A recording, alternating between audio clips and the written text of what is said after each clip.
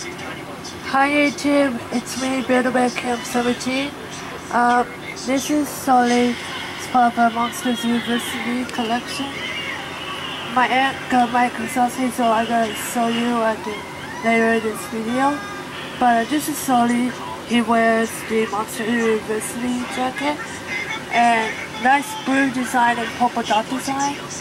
And I'm here at Sulley. I might see Monsters University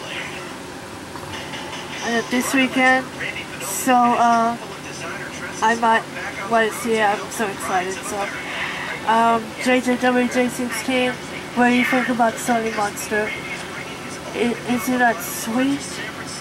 Also, um, he has claws in the hands and the feet. If you guys can see him, so.